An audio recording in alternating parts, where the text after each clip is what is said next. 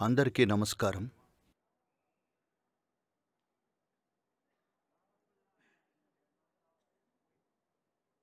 ఆదిశంకరుడు మహామేధావి. భాషాశాస్త్రంలో దిట్ట. అన్నిటికంటే ముఖ్యంగా మన దేశపు ఆధ్యాత్మిక జ్యోతి. దేశానికే గర్వకారకుడు. మాకు ఇంకాస్త ఎక్కువ గర్వం. ఎందుకంటే ఆయన దక్షిణాది నుండి వచ్చారు.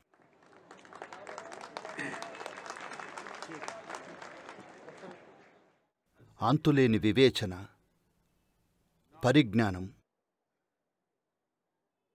ఉండటమే కాకుండా మానవాళికే ఒక ఆశాకిరణం ఆయన అలాంటి ఒక వ్యక్తిని ఈ భూమి సృష్టించింది. అంత చిన్న వయసులో అంత పరిజ్ఞానం కలిగి అతి తక్కువ ఆయుర్దాయం కలిగి కూడా ఈ దేశంలోని ప్రతి ప్రదేశము దర్శించారాయన. He ఇవాళ మనమంతా విమానంలో ఎగురొచ్చాం. కాని ఆయన దక్షిణ భారతం అంచుల నుండి ఆయన కాలినడకన అన్ని దిక్కులు నడిచారు. ఆయనకు ఆ శక్తి హుషారు ఆ జ్ఞానం ఎలా వస్తుంది? ఆయన గురించి ఒక విషయం. ఒక పల్లెటూరైన కాలడి నుంచి వచ్చారు. ఇప్పుడు అది ఒక పట్నంగా మారిందనుకోండి. కాలడి అంటే అర్థం పాదాల కింద అని. మన సంస్కృతి ప్రాథమిక లక్షణమే అది. భారత్ అంటే అర్థం ఆ దివ్యపాదాలకు దగ్గరగా ఉండటం అని. ఎప్పుడూ కాలడిగా ఉండటమే. ఒక తెచ్చిపెట్టుకున్న ఉత్సాహపు సంస్కృతి కాదు మనది. సహజమైన భక్తి కలిగి ఉన్న సంస్కృతి మనది. దీంతో ఈ ఒక్క అంశంతో మనం అద్భుతమైన వ్యక్తులను తయారు చేసుకోగలిగాం. ఇదే మనకి సంస్కృతిగా సంప్రదాయంగా తరతరాలుగా వస్తోంది. తల దగ్గర కూర్చుంటే కాదు పాదాల దగ్గర కూర్చుంటేనే నేర్చుకోగలమని. పాదాలకు అంకితమయ్యే మనం ఎదిగాం. పాదాలకు అంకితమయ్యే మనం వికసించాం. ఆ చోట ఉండే మనం వెలుగులు చింతించాం. ప్రపంచానికి చిరకాలం మార్గదర్శిగా ఉన్నాం. ఇప్పుడు ఆ సంస్కృతిని తిరిగి తీసుకురావాల్సిన సమయం వచ్చింది.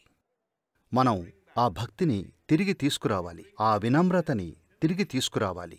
ఇదే సంస్కృతి మనం అంతర్ముఖంగా ఎదగటానికి దోహదపడింది.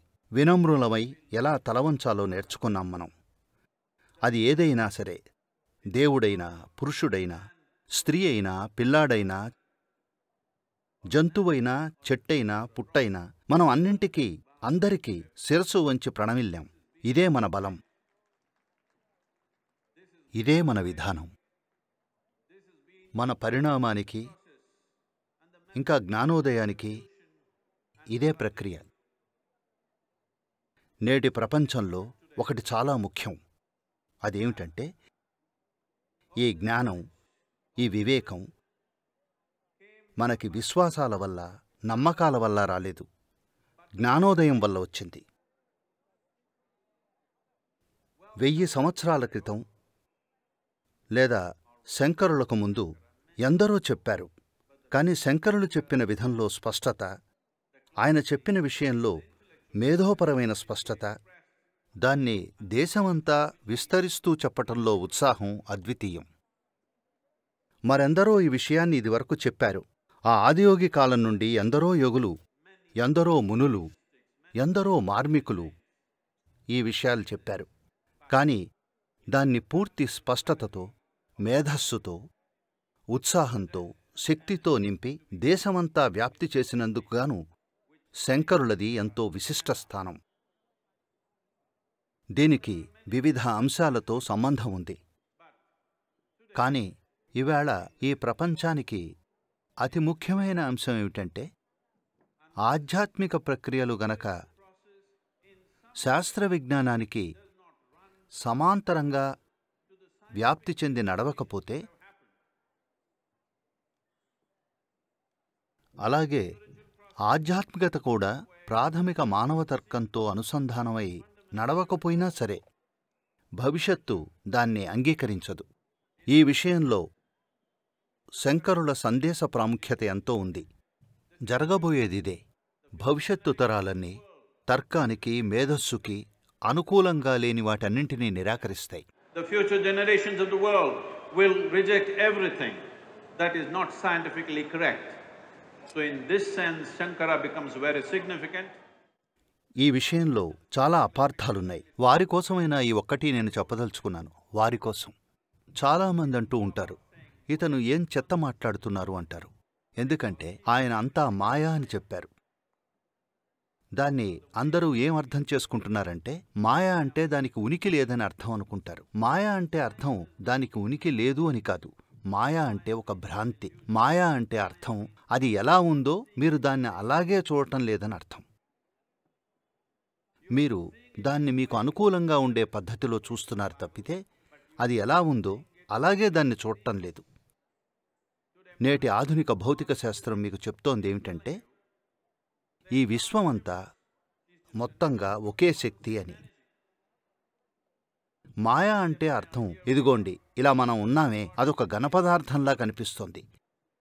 కానీ ప్రతిరోజు మీరు తినే ఆహారం తాగే నీరు పీల్చే గాలి వల్ల దీనిలో దాదాపు ఏడు శాతం మార్పిడి జరుగుతోంది ప్రతిరోజు.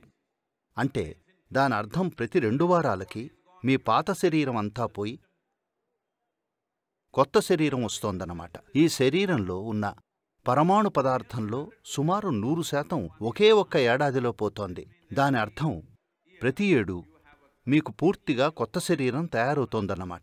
కానీ మీ దృష్టిలో మాత్రం మీకు అదే శరీరం ఎన్నో ఏళ్ళుగా ఉందనిపిస్తుంది. అదే మాయ.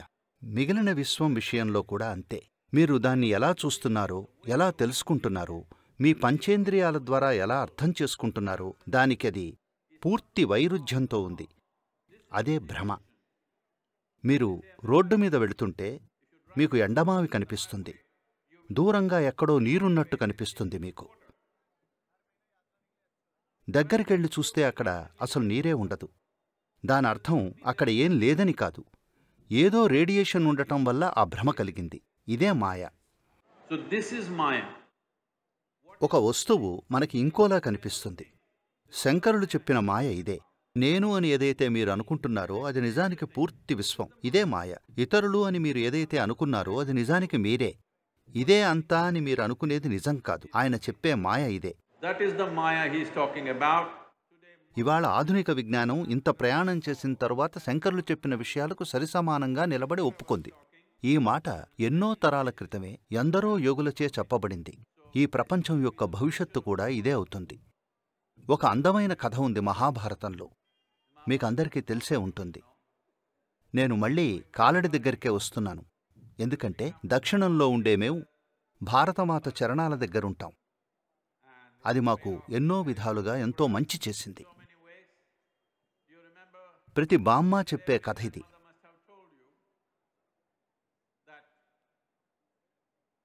కురుక్షేత్ర సంగ్రామంలో అర్జునుడు దుర్యోధనుడు కృష్ణుడి సహకారం కోరుతూ ఆయన దగ్గరికెళ్ళినప్పుడు తమకి తాముగా ఒకరు తల దగ్గర ఒకరు పాదాల దగ్గర నిలబడ్డారు. ఆ ఒక్కటి అంతా మార్చేసింది. ఆ మధ్యాహ్న వేళ అర్జునుడు కృష్ణుడి పాదాల దగ్గర నిలబడటంతో ఆయన యుద్ధం గెలిచేశాడు. ఈ దేశం యొక్క ప్రాముఖ్యత ఇదే.